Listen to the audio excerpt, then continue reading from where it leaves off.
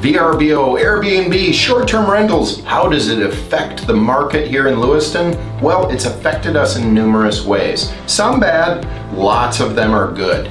So in some of the short forms of how it has affected us is that it has actually increased values, especially for those properties that are ideal for the short-term market.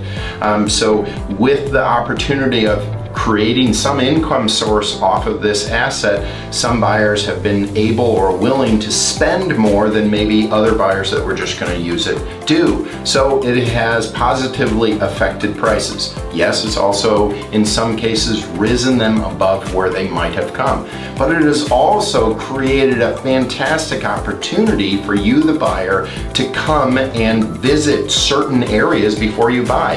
If you're thinking about buying on a specific lake, look for a VRBO or an Airbnb that you can stay in for a weekend and really get a feel for that lake.